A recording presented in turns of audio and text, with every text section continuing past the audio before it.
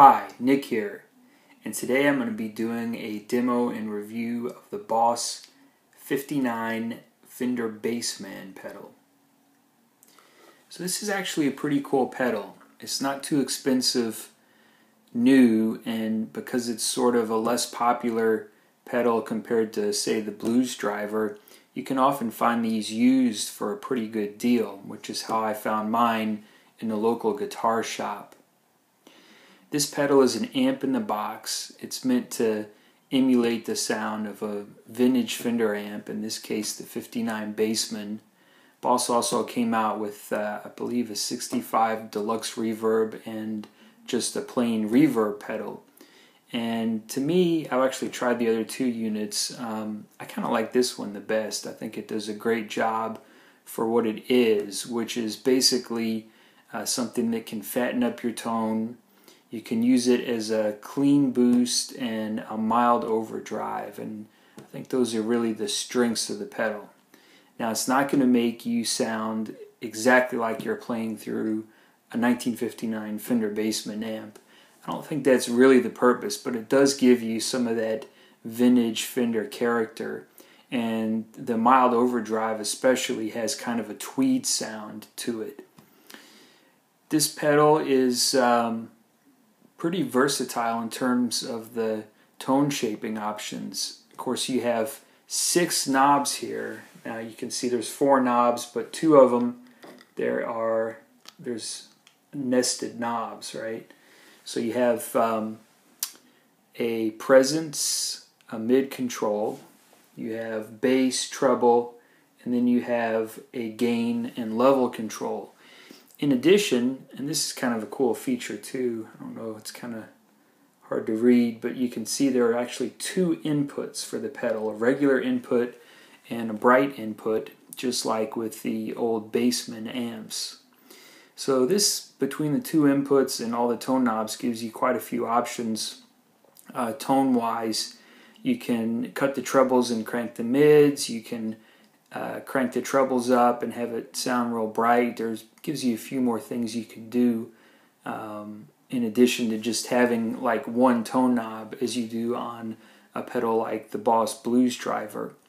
And I guess I'll just lay it out right now. I think this is kind of a cool pedal in the Blues Driver range of uh, sounds, but it has less gain and a bit more tonal options. So I kind of come to think of this as sort of an alternative to the blues driver. And in terms of uses, um, you can think of it that way as well. Some people like to pair a blues driver with a tube screamer pedal, and I think you could pair this pedal, the Bassman, with a tube screamer as well. In fact, I've done that. I've got a Electro Harmonix East River Drive, which is sort of their tube screamer, and I ran this in front of that basically to use as a boost and have a little bit of that grit sound that you get from this pedal and I think that sounds pretty good. Okay, so obviously sound is always the most important thing with the pedal, but cosmetics are uh, important to some people, and I admit I like it when a pedal looks cool as well. A lot of people wonder about this um, because it has this finish on it that's sort of supposed to make it look like a tweed amp. People wonder, is it plastic? Is it metal? It actually is metal like the other Boss pedals, but it, it does have that um, sort of textured uh, finish on it, which makes it look like a tweed amp, or it's supposed to. It doesn't really look like one. Uh, another feature that's supposed to emulate the Bassman is this reflective mirror um, panel with the labels for the controls on it, which is kind of cool, but there is a downside to it. If you're on a dark stage and then you have maybe like a stage light shining on it, you can see that it might make the controls hard to read if you're just getting the glare or the reflection from that mirrored surface. So this pedal is not super complicated. It does have six knobs, which I admit is more than some other pedals do, but um, just you know take some time to learn the controls if you're going to fiddle with it when you're on stage um, using this thing. But again, it's not too hard to use and I think for the most part it looks pretty cool. I guess I'll give it like a B or a B plus maybe for looks, but um, the mirrored control panel is something that might be an issue for some people. So anyway, there's that. Okay, so that's the Boss 59 Bassman pedal. It's a pretty cool pedal that gives you some vintage Fender vibe. You can use it to fatten up your tone. You can use it as a clean boost. You can use it for a mild overdrive. It's not going to make you sound exactly like you're playing through a 59 Bassman amp, but it does give you some good uh, vintage Fender tones in the tweed department. This is a great pedal if you like classic rock sounds. It does a little bit of 70s Clapton, a little bit of Stevie Ray Vaughan and John Mayer. So if you like that kind of thing, this would be a cool pedal to check out. It also plays great with other pedals. You might try it uh, paired with a tube screamer. If you've tried a blues driver and didn't quite like that, this might be another pedal to check out because it's sort of like a milder, mellower blues driver. It's a little bit smoother and you have a lot more tone shaping options.